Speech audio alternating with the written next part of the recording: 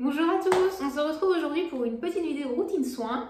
Euh, ma dernière routine soin est pas si vieille que ça, mais euh, j'ai changé quelques petites choses, donc j'avais envie de vous en parler. Euh, voilà, parce que moi c'est vrai que je regarde quand même pas mal de vidéos à mes heures perdues et je suis toujours en quête d'informations sur le soin de manière générale.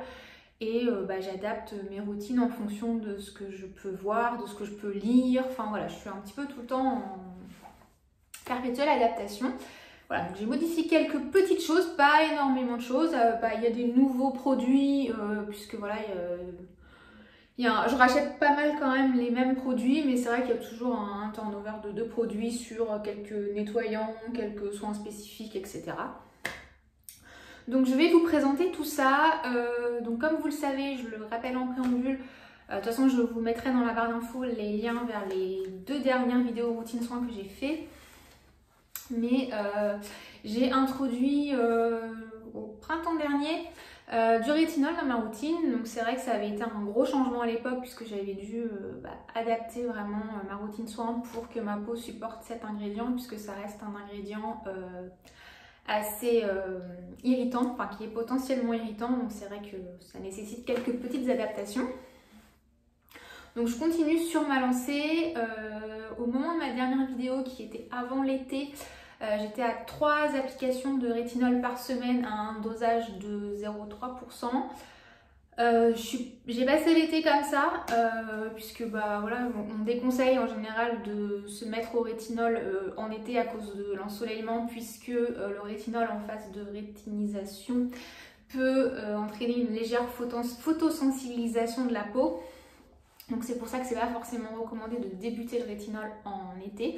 Pour autant, euh, faut pas l'arrêter, enfin quand on y est habitué, il faut pas l'arrêter non plus, puisque sinon on perd la, tolérance qu'on a construit, construite. Euh, donc c'est pour ça que moi j'avais stoppé euh, mes applications à trois fois par semaine et j'avais fait une pause et j'avais maintenu cette fréquence d'application pendant tout l'été.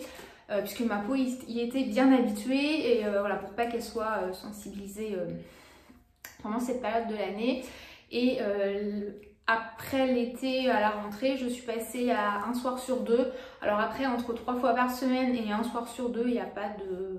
Enfin, ça change pas foncièrement grand-chose. Enfin, dans la fréquence, euh, voilà, en gros, il y, a une semaine où j'en applique quatre fois et une semaine où j'en applique trois fois. Donc voilà, ça change pas énormément. Et là, je suis passée à, euh, bah, à tous les soirs. Donc là, je, commence. Euh, toujours le même dosage. J'ai pas fini mon flacon, tout simplement. Donc je le termine comme ça. Euh, donc là, je, vais, euh, je teste euh, une application quotidienne à 0,3%. Pour le moment, ça se passe bien. On verra pour la suite. donc, je vais vous présenter tout ça. Je vais commencer par la routine du matin. Alors, le matin... oula, en train de manger mes cheveux. le matin, je me nettoie le visage. alors, voilà, c'est un peu toujours sujet à débat. Moi, j'ai besoin de nettoyer ma peau le matin de manière assez légère, mais euh, pour enlever l'excès de produits de la veille, euh, pour la transpiration aussi, parce que moi j'ai tendance à transpirer la nuit, c'est glamour. Euh, voilà, pour un peu nettoyer la peau, mais en douceur. Donc j'utilise tout le temps un nettoyant crème de préférence, quelque chose qui ne mousse pas, qui va être très doux et qui va me permettre voilà, d'enlever ces petites, euh, ces excédents de produits, la transpiration les quelques impuretés vraiment en douceur sans euh, défoncer le film hydrolipidique de ma peau. Et en ce moment j'utilise un nettoyant euh, de la marque Onua Skincare, c'est le nettoyant Paakai. Donc c'est vraiment une crème toute rose qui sent la rose, alors qui sent vraiment très fort la rose, mais moi j'aime bien donc ça me dérange pas, c'est une rose vraiment sympa, c'est pas la rose mamie qu'on n'aime pas trop. C'est vraiment une odeur de rose euh, très agréable. Euh, par contre, ça sent euh, assez fort. Donc si vous n'aimez pas la rose, je vous le recommande pas du tout. Mais c'est vraiment une crème très très douce qui nettoie la peau tout en douceur. voilà, que j'aime beaucoup. C'est pas la première fois que, que je l'achète. je suis contente de le retrouver. Une fois que j'ai fait ça, en général, je me passe un coup d'eau thermale sur le visage une fois que j'ai rincé mon nettoyant pour enlever un peu le calcaire, tout ça. Donc voilà, je ne l'ai pas ramené là, euh, c'est une, eau thermale, euh, tout ce qu'il y a de plus, euh, tout ce qu'il y a de plus basique. ensuite, je viens toujours humidifier ma peau avec une lotion pour que ma peau soit un petit peu humide et donc reçoive mieux les soins. C'est un peu le principe du, d'une éponge par exemple quand elle est sèche on voit bien que quand on met de l'eau dessus ça a un petit peu du mal à pénétrer alors que si elle est humide ça pénètre tout de suite. En gros la peau c'est un peu pareil. Et en ce moment j'utilise euh, une lotion de la marque Innisfree je crois que c'est comme ça que ça se dit. Euh, c'est le Green Tea Fresh Toner. Alors J'en suis pas euh, ultra fan, euh, il, a une couleur euh, marron qui est pas très raboutante. il est censé contrôler l'excès de sébum. Je n'en suis pas extrêmement convaincue. voilà, donc néanmoins je l'ai, je l'utilise, mais ouais, c'est pas un coup de cœur. L'odeur est pas super agréable non plus, je sais. Ouais, c'est une odeur bizarre, je sais même pas, je saurais même pas la décrire. Enfin voilà, l'odeur, la texture, c'est pas folichon. Euh, après, ça fait le job, hein, ça humidifie ma peau, à la limite, c'est ce que je lui demande. Mais euh, c'est pas, un, pas coup de cœur. Une fois que ma peau est bien humidifiée, euh, je passe à l'application de mon sérum à l'acide hyaluronique qui est, ça n'a pas changé, le sérum ELMW de chez Green Keratine. Donc c'est la version sans parfum, moi j'achète la version sans parfum puisque la version parfumée, et parfumée à la rose et euh, c'est pas une odeur que, enfin je trouve qu'elle est pas très réussie l'odeur donc je trouve pas ça très agréable. Donc je préfère prendre le, sans parfum. C'est un acide hyaluronique euh, de bas poids moléculaire. Donc c'est celui qui normalement pénètre au plus profond de la peau. C'est un produit que j'aime beaucoup qui a fait vraiment ses preuves sur moi depuis que j'utilise. J'ai très très peu de sensations de tiraillement, d'inconfort, euh, etc. C'est un sérum hydratant qui marche très très bien sur moi. Je sais qu'il y en a qui ne le supportent pas. Euh, alors certains se plaignent aussi qu'il peluche euh, sur moi, ça n'a jamais peluché. Donc voilà, je pense que c'est une question de compatibilité peau-produit plus produit et autres produits. Donc je pense que c'est un petit peu la loterie. Mais moi, j'ai eu aucun problème de, de peluche. C'est vraiment un basique, je l'achète plus que lui maintenant.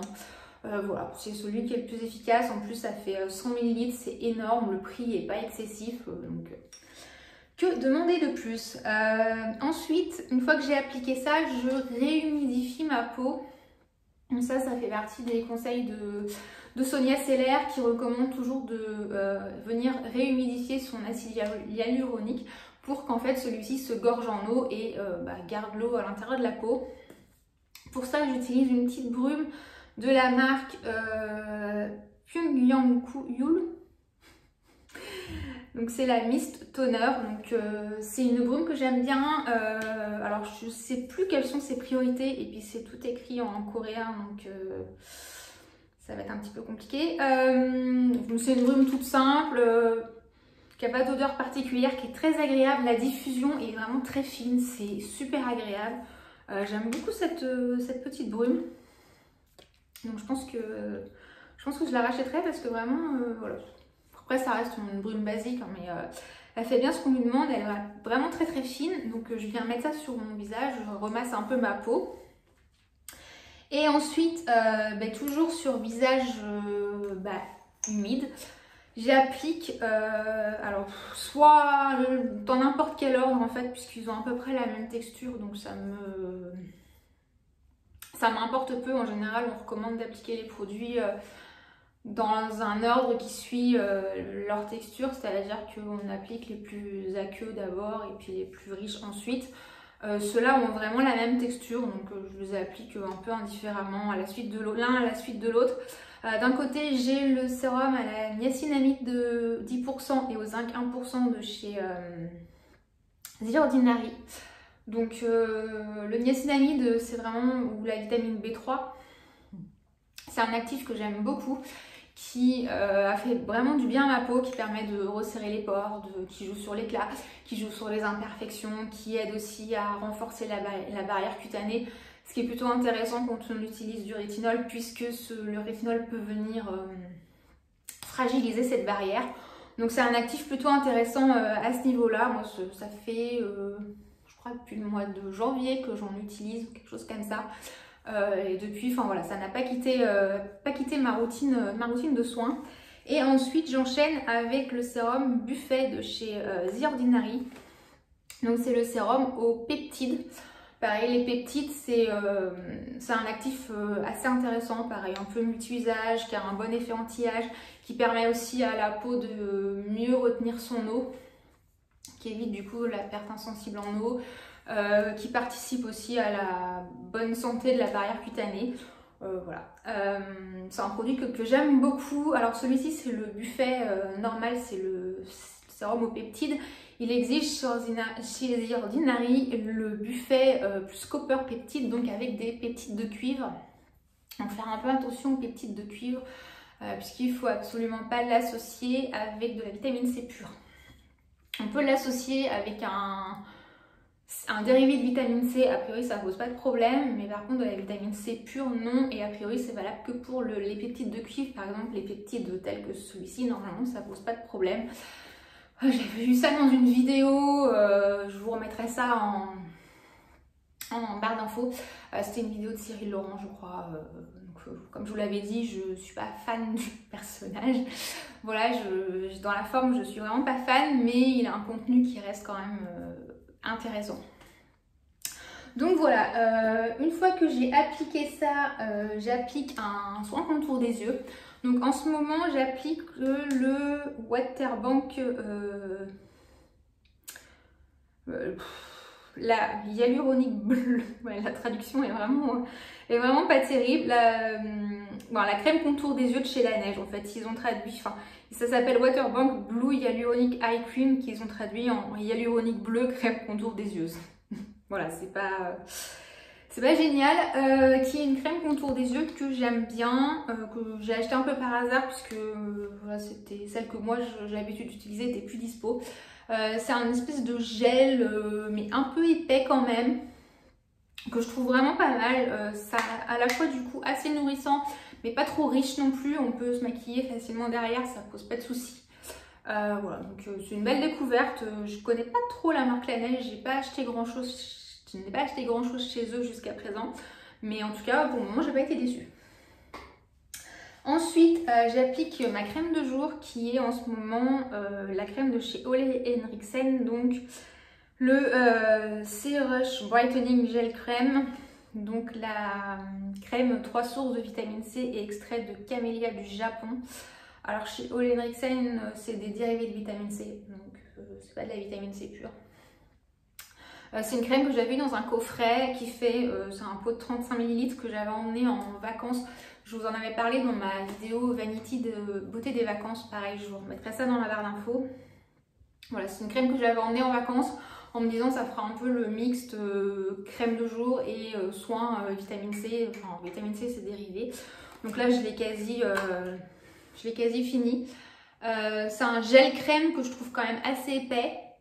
Ça sent bon, ça sent un peu les bonbons créma, je trouve. C'est pas désagréable. Euh, je vous disais dans ma vidéo justement euh, Vanity Beauté que je l'aimais pas trop, que je la trouvais un peu lourde. c'est vrai que quand j'étais en vacances, j'ai pas trop aimé, mais là franchement elle passe bien. Donc voilà, je suis un peu mitigée sur ce, sur ce produit. donc pour le moment j'utilise ça puisque bah, je la termine. Euh, mais je repartirai après sur euh, le combo euh, le combo sérum Banana Bright de chez Ole avec une crème de jour. Bah, c'était la crème que j'utilisais avant de partir en vacances. la crème de chez Comfort Zone, la Hydra Memory Cream, Gel que j'aime beaucoup, qui est vraiment un gel crème. pareil, elle est quasi, elle est quasi terminée. Euh, qui est un gel crème qui est vraiment euh, hyper agréable, que j'aime beaucoup, euh, que je finirai d'utiliser là début d'automne, puisque je pense qu'après ce sera peut-être un peu, un peu léger, parce que c'est vraiment très, très, c'est vraiment un gel vraiment très léger, c'est pas quelque chose de riche. Et peut-être que pour la saison froide, j'aurais besoin de quelque chose d'un petit peu plus riche. Je verrai ça. Mais en tout cas, oui, je repartirai après sur ce combo-là, qui est mon combo habituel. Euh, voilà, c'est vraiment un peu au dérivé de vitamine C. Alors moi, j'utilise pas de vitamine C pure parce que comme j'utilise du rétinol, je veux pas multiplier les actifs irritants. La vitamine C, c'est pas forcément bien toléré non plus. Donc je préfère euh, partir sur ça pour le moment. On verra plus tard. Et euh, voilà, donc du coup, en attendant, je termine ça qui était mon pot de crème des vacances. ensuite, une fois que j'ai appliqué ça, je termine avec une protection solaire. En ce moment, j'utilise euh, celle de chez La Roche-Posay, euh, la Antelios UV Mun 400. Euh, donc, il y a une très bonne protection contre les UV à long. c'est la crème que j'ai utilisée, c'est la crème de solaire de jour que j'ai utilisée quasiment tout l'été. Donc, que j'ai utilisée tout l'été. sauf quand je fais du sport où j'applique une crème solaire plus bien résistante à la transpiration. Donc en fait c'est un solaire qui est vraiment visible parce que euh, il est euh, un petit peu teinté, euh, voilà, il a une teinte un peu jaunâtre. Par contre voilà, il est super liquide donc le flacon est vite cracra. Celui-ci c'est la version avec parfum, j'avais avant la version sans parfum. je l'avais acheté, je m'étais un petit peu, enfin je m'étais trompée. franchement je ne vois pas la différence au niveau du parfum, je trouve que ça n'a pas vraiment une odeur différente que l'autre donc je vois pas l'intérêt en fait d'avoir fait deux versions. Autant faire direct une version sans parfum pas trop, pas trop compris. Euh, donc c'est quelque chose qui est assez euh, riche en alcool. Donc si vous avez du mal avec euh, les produits qui contiennent beaucoup d'alcool, je ne vous le conseille pas. Si vous avez la peau sensible, etc., je ne vous le conseille pas. voilà, c'est pour ça aussi qu'il est assez évanescent. C'est tous ces solaires qui, qui se fondent très vite et disparaissent très vite, généralement sont blindés d'alcool. Donc celui-ci fait pas exception. Euh, je le trouve bien, euh, il n'est pas trop lourd, il n'est pas trop riche. Euh, voilà, il me convient bien. après, je partirai sur un truc, je repartirai sur des solaires asiatiques ou des choses comme ça que je trouve quand même plus agréable à utiliser. Mais néanmoins, pour la période de, forte exposition, je l'ai trouvé vraiment très très bien. Et pareil, j'ai lu souvent qu'on recommande de ne pas mettre de crème de jour et de mettre uniquement son solaire. Mais moi qui ai pourtant la peau euh, normale, mixte, enfin voilà, en été je peux briller un peu au niveau du front, etc. Moi si j'applique que ça après mes soins sans mettre de crème, euh, j'ai la peau vraiment inconfortable parce que c'est tellement blindé d'alcool que ça m'assèche la peau en fait. Donc je, mets toujours une crème. Quitte à briller un peu, je préfère briller un peu et être confortable. Euh, voilà pour la routine du matin. ensuite pour le soir. Donc moi depuis des années, je ne sais même plus à quand ça remonte. Je pratique tout le temps un double nettoyage, donc avec un, démaquillant euh, huileux, euh, gras, pour en fait euh, enlever le maquillage, enlever les filtres solaires. Et je termine avec, j'enchaîne après pardon, avec un nettoyant plutôt moussant, donc quelque chose de plutôt aqueux, pour enlever tout le reste des impuretés qui elles se dissolvent plus dans l'eau que dans le gras. Donc en ce moment, euh, en démaquillant, j'utilise euh, le baume de chez euh, The Body Shop. Donc c'est le beurre démaquillant sublime à la camomille dont je vous ai parlé dans mon résumé du mois de septembre que j'adore. Que voilà, que j'ai tué quasiment. J'adore son odeur, je le trouve très agréable. Il démaquille vraiment très bien. il est assez redoutable. Enfin voilà, pour enlever le mascara et tout, il n'y a pas besoin d'insister, ça part super vite. Euh, il s'émulsionne très bien, il se rince très bien, il est vraiment parfait. Euh, voilà, j'ai rien de plus à dire. Je comprends l'engouement vraiment autour de ce produit. J'en avais entendu beaucoup de bien et euh, vraiment, c'est vraiment justifié. En plus, le format est très pratique à transporter éventuellement. pour une fois, c'est assez rare puisqu'en général, moi, j'ai un produit de chaque catégorie d'ouvert, euh, j'évite d'avoir 50, euh, 50 produits d'une même catégorie d'ouvert parce que moi je ne supporte pas le. Donc je veux surtout pas que mes produits tournent ou quoi que ce soit. Donc c'est vrai qu'en général, euh, j'utilise vraiment un seul produit dans chaque catégorie pour éviter ça. mais là pour une fois, j'ai deux démaquillants. J'utilise aussi l'huile Ariel de chez Clevea, donc c'est l'huile démaquillante au Neroli. Euh, qui se présente comme ça dans un beau flacon verre, mais du coup qui est pas, euh, je sais pas si on voit, mais ça fuit un peu, donc c'est pas, euh, c'est pas forcément génial. elle sent divinement bon le Neroli. Elle a une texture un petit peu épaisse, mais pas trop. alors après, je suis un peu déçue de cette huile parce que je trouve qu'elle démaquille bien. Mais pour les yeux, je trouve qu'il faut quand même insister pas mal pour que ça parte. Et pourtant, moi, je, ne porte pas du mascara waterproof du mascara, euh, je pense un mascara de chez Lancôme, tout ce qu'il y a de plus classique. Et c'est vrai que je trouve qu'il faut quand même pas mal insister pour bien décoller le mascara. Donc je suis un peu déçue sur ça.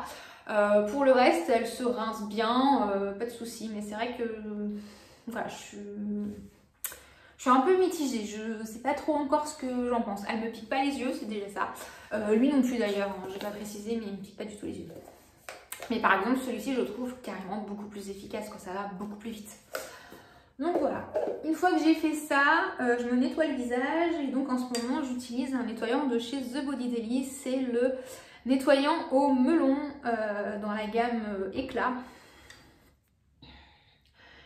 euh, qui est un nettoyant assez connu dans la marque, qui sent très très bon le melon, c'est très agréable, qui est assez nettoyant mais néanmoins je le trouve quand même doux parce que moi j'aime pas autant voilà le but c'est de bien nettoyer ma peau mais c'est pas de la décaper et j'aime pas pas utiliser des gels nettoyants qui soient trop euh, trop costauds.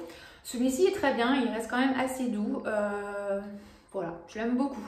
Vraiment c'est une belle découverte euh, ensuite, comme le matin, une fois que j'ai fait ça, une fois que je me suis rincé le visage, je passe un coup d'eau thermale.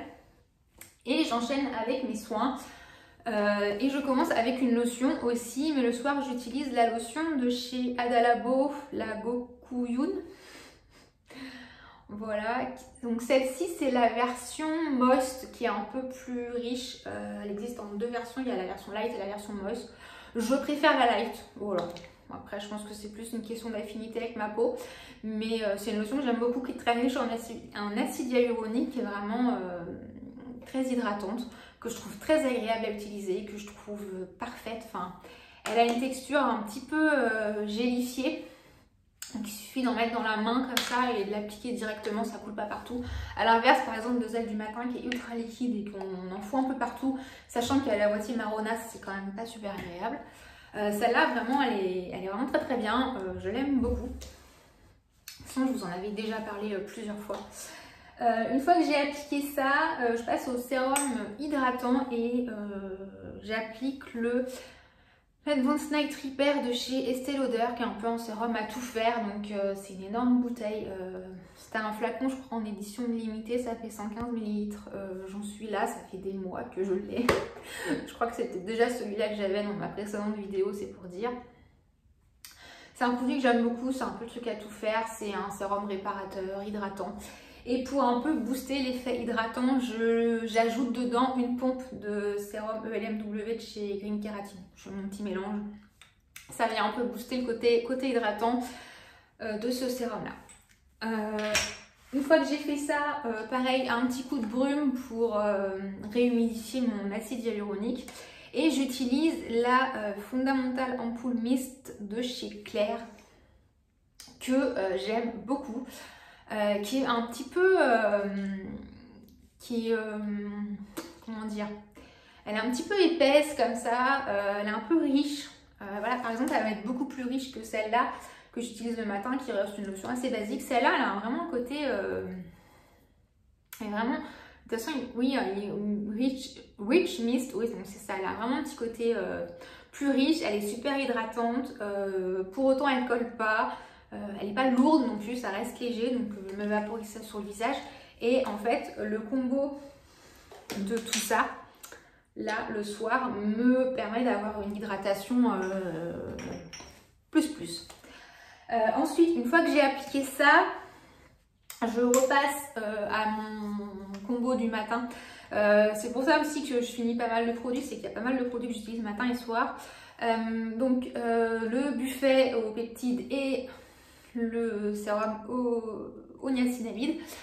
Avant, je les utilisais pas quand euh, j'utilisais du rétinol parce que je me disais ça va, ça fait un peu trop, euh, j'étais un peu frileuse. Et pareil, j'avais vu une vidéo, pareil, c'était Cyril Laurent, je crois, et je crois qu'il parlait de l'ordre dans lequel appliquer les produits, ou je sais plus exactement. Et euh, en fait, il enchaînait niacinamide peptide avec rétinol. Donc, je me suis mis à en faire autant. Donc maintenant, c'est des produits que j'utilise tous les jours, matin et soir.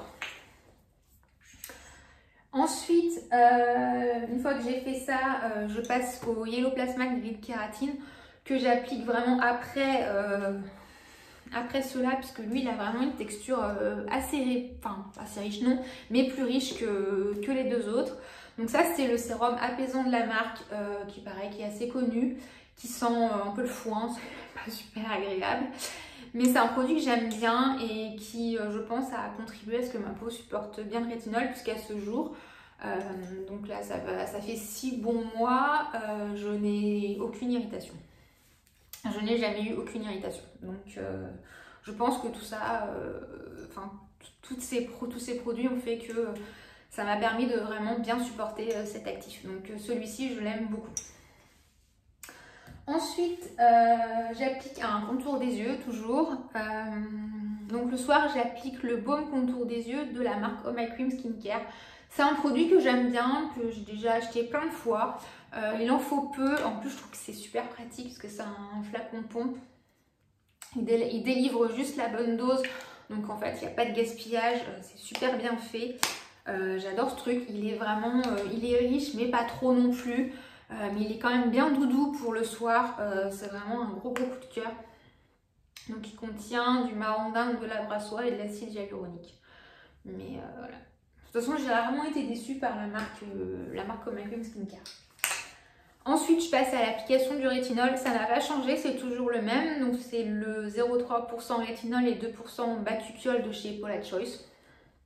Toujours. Euh, que je couple toujours avec la Sika BioRestore de chez Bioderma. Ça n'a pas changé. J'ai pas changé de méthode d'application. En fait, vous pouvez l'appliquer de plusieurs façons. Euh, soit vous l'appliquez après vos soins directement, soit vous appliquez une couche de crème, une couche de rétinol, une couche de crème pour faire un espèce de sandwich. Moi, je mélange les deux euh, parce que je trouve que c'est plus facile à appliquer. Ça permet de bien répartir le produit sur tout le visage. Donc je mets, euh, je 3 pompes de ça, euh, c'est beaucoup parce que normalement c'est une à deux pompes, mais euh, voilà, et avec une noisette de ça, et c'est impeccable. J'adore cette crème, vraiment, c'est une crème qui est extraordinaire pour réparer la peau. Je pense que c'est la meilleure. c'est une de mes plus belles découvertes de cette année. Donc le combo des deux est très efficace selon moi et ce produit là m'a vraiment aidé à bien supporter aussi celui-ci. Donc là, je suis toujours sur du 0,3. Euh, je vous avais montré dans ma vidéo, euh, mon dernier haul beauté, le produit qui va remplacer euh, ce flacon-là. Puisque là, du coup, maintenant, je l'utilise pas tous les soirs jusqu'à ce que je le termine. Et en fait, ce truc coûte assez cher, mais il a une durée de vie, je trouve, assez, assez longue parce que j'en suis toujours pas venue à bout. donc une fois que je l'aurai fini, je vais passer à du 0,5%. Euh, par contre, chez Paula Choice, ils ne font pas de 0,5%. C'est dommage parce que s'ils avaient fait le même que celui-ci en 0,5%, c'est celui-ci que j'aurais acheté sans hésitation, mais ils font directement au, du 1%. Donc moi, je trouve la marche un peu haute. Donc je préfère passer par une étape à 0,5. Et du coup, je vous avais montré dans ma vidéo, euh, ma dernière vidéo All Beauté, ce produit-là de la marque Dermaceutique. Donc c'est un rétinol à 0,5%. Voilà, que j'utiliserai du coup une fois que celui-ci sera terminé. Et là, je repartirai sur une application progressive, euh, deux soirs par semaine, trois soirs par semaine, un soir sur deux, éventuellement tous les soirs si ça passe, avant de peut-être passer à du 1% plus tard. Voilà, donc en fait c'est ça le rétinol, c'est euh, quand vous voulez l'introduire, c'est un dosage faible, une application progressive. Voilà, et après on augmente petit à petit les applications et quand on change de dosage, on repart en arrière et on, réduit les applications pour après les réaugmenter petit à petit. Voilà, ensuite, euh, mis à part ça, je ne fais pas grand chose. Euh, comme je suis avec du rétinol euh, et que je suis pas. ma phase de rétinisation n'est pas terminée, j'utilise quasiment pas d'exfoliant, j'en ai. J'en ressens pas le besoin non plus. De toute façon, parce que le, les vient dans un premier temps accélérer le, renouvellement cellulaire et vient donc un petit peu, euh, bah, il y a un petit effet exfoliant. Puis en plus, les exfoliants peuvent sensibiliser, la peau, ce qu'il faut plutôt éviter. Donc c'est vrai que j'en ressens pas spécialement besoin. Donc euh, je ne fais pas grand chose. Euh, je ne l'ai pas amené, mais tous les soirs, en général, je passe mon... Enfin, je me fais une séance de photomodulation avec mon masque Talika dont je vous avais parlé dans un revenu du mois. Pareil, je vous remettrai ça en, en barre d'infos. Euh, et autrement, comme soin un peu plus ponctuel, euh, quand certains soirs, ça peut m'arriver de sentir ma peau un peu encrassée.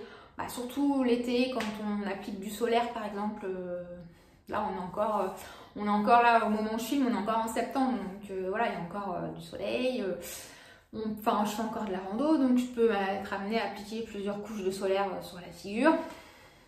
Ou tout simplement, j'ai transpiré. Enfin voilà, quand je sens que ma peau est un petit peu encrassée et que j'ai besoin d'un nettoyage un petit peu plus costaud, euh, j'utilise le nettoyant CS de chez Clevia. Euh, voilà, je crois que je vous en avais déjà parlé, je crois que c'était déjà celui-ci. Euh, il en faut tellement peu de façon que ça dure une éternité. Voilà, c'est un nettoyant poudre un petit peu exfoliant, enfin il n'a pas de grain, mais il a un petit côté exfoliant quand même. il faut bien, par contre, le travailler pour bien faire fondre la poudre pour qu'il n'y ait pas de, pas grain. Mais voilà, il permet un nettoyage un peu plus en profondeur de la peau.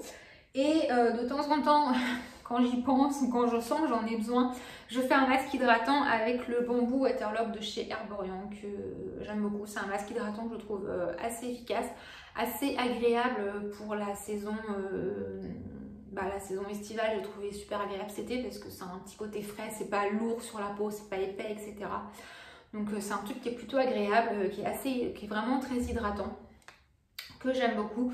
Euh, voilà, pour le moment, euh, je ne fais que ça, puisque en fait, les potentiels problèmes de ma peau, c'est surtout la, la, déshydratation. Donc, j'ai pas trop de problèmes autrement. J'ai pas spécialement besoin de la nourrir plus, puisqu'on est quand même encore dans une période clémente. On verra cet hiver euh, qu'il en est. Euh, donc voilà, c'est tout pour cette routine de soins. pour certains, va encore une fois, ça va paraître énorme. Mais voilà, après moi je sais que voilà, j'aime beaucoup, euh, le soin c'est une passion dans ma vie.